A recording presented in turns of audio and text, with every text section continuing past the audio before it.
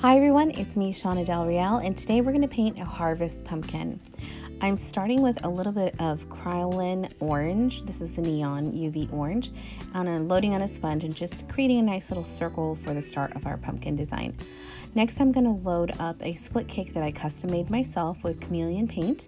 Um, and I'm picking up just a slight bit of the black um, a lot of the red and orange and a little bit of the yellow. I'm using a flat brush and just doing C shapes, making sure that my center C shapes are larger than my outer C shapes.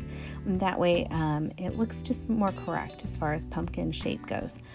Now I'm taking the edge of my brush after I load it again and I'm creating some fall looking leaves. I want my flow um, to kind of also be in a C shape um, so that I could use this on the cheek or use it um, on the side of the temple.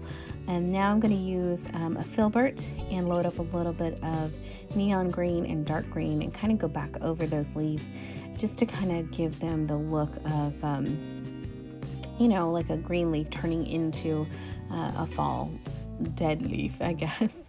Um, and now I'm going to just do a little bit of outlining. I'm using a number two uh, round brush to do all my line work. And um, I just want really thin lines, nothing too thick. Um, I do go a little thicker um, when I'm going around the edges of the pumpkin. Um, and um, when I'm coming on the leaves here, I just want to make those kind of give them some nice sharp edges uh, just to give some cool interest um, and a cool look to the design. Nothing too rounded on this part because I really want them look like looking like fall um, and not like healthy round leaves. So there we go. Next, um, I took a little bit of a lighter yellow that's also from Kryolan and I'm doing a little bit of highlighting just because I felt like it was a little bit dark.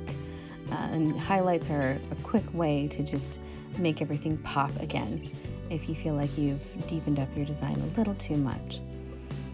So next, I'm going to a little bit of glitter. Now this is from Creative Faces.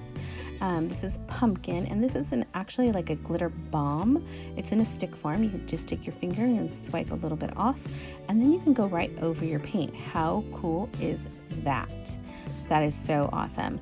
The cool thing about this is it's a nice base for your other glitters. So as you can see, I'm going to use not just this one, but I'm going to use another glitter to kind of layer and really create some wow sparkle.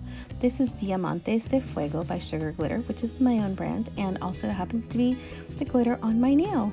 And yes, um, I get my nails done at Ooh La La Boutique in Lakewood, California, and she used my glitter on my nails. So now I'm going to go over those areas and look at how pretty that sparkle is. So this is a cool way if you have gels or balms that you use on, on your designs and they're just not quite sparkly because they're in a suspension, then you can take your loose glitter and go right on top and pow, super sparklelicious. So now I decided, well, my daughter said, Mom, maybe you should add some gold. And I think she's absolutely right. So I'm to take some Mehron metallic powder and some mixing fluid and try not to put too much liquid in um, your container and whoops way too much. So now I'm going to take a try to put just a little bit of powder but as you can see I went a little overboard with that too. Like this is enough to I don't know do like a whole chest piece. So whatever. I put use a little bit too much but mix it up with your brush and then I'm just going to go over some of the black areas and create a really cool looking um, highlight to this whole design. Uh, gives it a whole other element. Looks like mixed media. It's just a little bit more fun.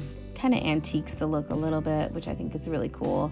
You don't have to do this. This is just an extra step, but I think it looks neat if you have this. If you don't, you can always use just gold paint.